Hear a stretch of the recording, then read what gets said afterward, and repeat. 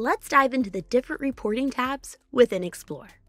These tabs can be found under the filter sets and provide you with further insights into the media coverage within your search. First, the Overview tab. The Overview tab is a high level overview of important analytics, such as total mentions and mentions per day. The delta trend tells you the percentage change in volume over the previous time frame. The mentions trend widget shows you the trend of activity across all sources for each day in your selected date range. Top keywords shows the most frequent keywords associated with your query. Top locations, the distribution of mentions according to the country in which the user posted the mention. And lastly, sentiment. This shows the overall tonality of mentions in your results. You will notice all mentions are interactive and downloadable. Next, we come to the Analytics tab. The Analytics tab gives you a deeper understanding and allows you to visualize your social media data.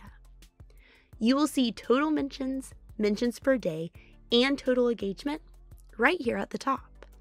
Next, you will find mentions type by source type, followed by our most engaged content, engagement trend by source type, and then, of course, top locations, editorial sources, shared links, blogs, subreddits, and forums. Next, we come to the Topic Analysis tab.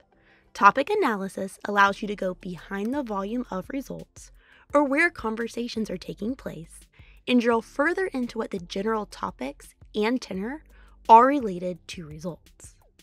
Topic analysis provides the ability to find deeper context to the results and see and better understand how the results are being talked about within separate topics. Now, as I scroll through the different widgets within topic analysis, please note that this tab is a complementary tool to be used with the overview and analytics tabs. Now, the Twitter Insights tab gives you a better understanding of your Twitter results by breaking these results down into Twitter specific widgets. This tab is filtered by the source, Twitter. All data in this tab will be for Twitter only. And lastly, the Authors tab. The Authors tab uncovers the who behind the conversation.